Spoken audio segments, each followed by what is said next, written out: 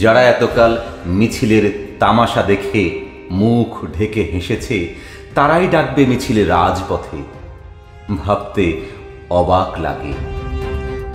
আকাশের রোদ্দুর দেখে যারা কশ্চিন কালেও ছাতাবিহীন বাড়ায় না পা রাস্তায়, জানালায় বৃষ্টির ঝাঁট দেখে কাশে খক নাক ঘষে রুমালে, তারা দেবে নদী পাড়ি। লঞ্চে বা স্টিমারে নয়, পাল তোলা নৌকোতে নয় গুপ্তচরের মতো একেবারে ঘাসা ডুব সাঁতারে।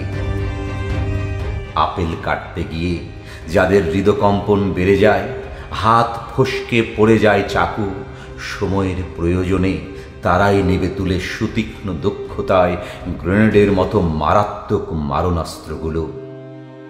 যারা মাছ খেতে গিয়ে কাঁটা দেখে হাঁপিয়ে ওঠে।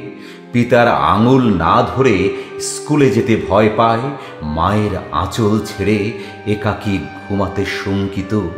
তারা কাটিয়ে দেবে। রাতের পর রাত নিঃসঙ্গ বনজঙ্গলে অনাহারে, অর্ধাহারে কাঁধে রাইফেল আর চৌদিকে অতন্দ্র দৃষ্টি রেখে